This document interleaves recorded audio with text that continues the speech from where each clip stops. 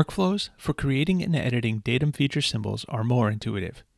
Datum feature symbols can now be created as a standalone annotation and do not require a plane or axis in the model.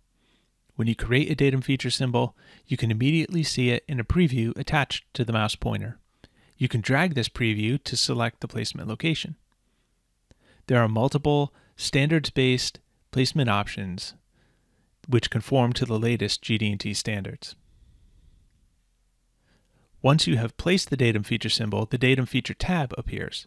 Use the options available on this context-sensitive tab for editing properties of the datum feature symbol.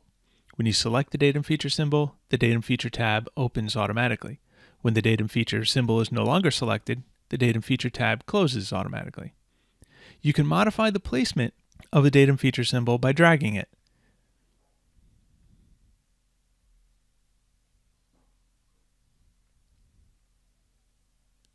If you place a datum feature symbol on a GTOL, you can choose whether it attaches to the GTOL frame or to the leader by choosing the option from the right mouse button menu.